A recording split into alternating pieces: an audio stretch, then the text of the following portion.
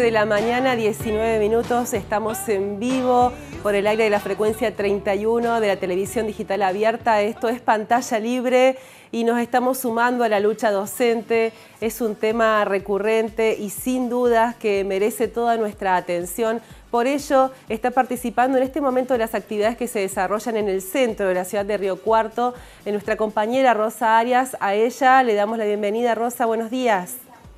Muy buenos días, ¿no? Y buenos días a toda la gente que nos acompaña en este día jueves, como vos decías, marcado por una nueva medida de fuerza de los docentes universitarios, pero también de los docentes de otros niveles educativos.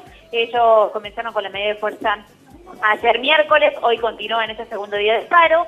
Y en este caso, durante toda la mañana se está realizando actividades en la plaza central de nuestra ciudad. Comenzó con una clase pública sobre educación y derecho a huelga y a esta hora se está desarrollando una radio abierta en la que participan los gremios docentes de los distintos niveles educativos que desarrollan actividades en instituciones de nuestra ciudad. Estamos en compañía de Adriana Moseta, integrante de la Asociación Gremial Docente Río Cuarto. Contanos, Adriana, cómo se están desarrollando las actividades hoy. Hola, ¿qué tal? Buenos días. Bueno, arrancamos a las 9 de la mañana con la clase pública sobre educación y el derecho a huelga y de ahí a poco se ha empezado a sumar más gente y ahora se está desarrollando la radio abierta, donde están hablando de distintas personas, integrantes, por ejemplo, de los, del gremio de Pensador, de UPC, ahora está hablando una compañera, Elena Berruti, que es integrante de la comunidad universitaria, de los docentes universitarios, Así que bueno, también estamos organizando lo que va a ser la semana que viene, que también hay dos días de, de lucha, el martes y el miércoles importancia de reunir los esfuerzos de los distintos gremios, de los distintos niveles educativos. Exactamente, con trabajo de hablar, de dialogar, de debatir, de juntarnos, de intentar consensuar y ver que, bueno, que la educación atraviesa toda la sociedad y por eso ayer arrancamos con una conferencia de prensa la mañana y después tuvimos la, eh, la asamblea intersectorial e interclaustro y ahí fue que se decidió fuertemente estar participando todos juntos de estas actividades y ya organizamos lo que va a ser la semana que viene. Eh, para la semana próxima está convocando una marcha? Bueno, hay una marcha en Buenos Aires, ¿sí? que suponemos que va a ser mucho más intensa y con movilización de la otra vez, que fueron más de 60.000 personas, nosotros estuvimos trabajando como gremio docente. Bueno, ahora lo que estamos eh, aunando esfuerzos para participar con un mayor número de personas y difundirlo más, eso es el miércoles. Pero ya el martes tenemos actividades en la universidad a las 10 de la mañana, en lo que es la, sería la altura de la Guardia Nueva, Vamos a estar haciendo una asamblea, trabajando de vuelta todo lo que es la, educación, el derecho a huelga, y vamos a estar trabajando en esta, en esta asamblea y en esta clase pública allá en la universidad. Y también vamos a estar haciendo algunas intervenciones, intervenciones en el centro cívico, que consideramos que es un, centro bastante neurálgico por lo que es la provincia y su capital alterno, como ellos llaman. Entonces también vamos a estar visibilizando este conflicto de todos los educadores en el centro cívico.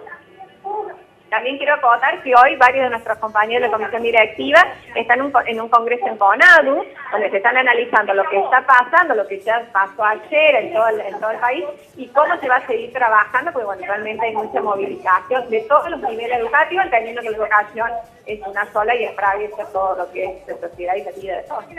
Muchas gracias, Adriana. Gracias.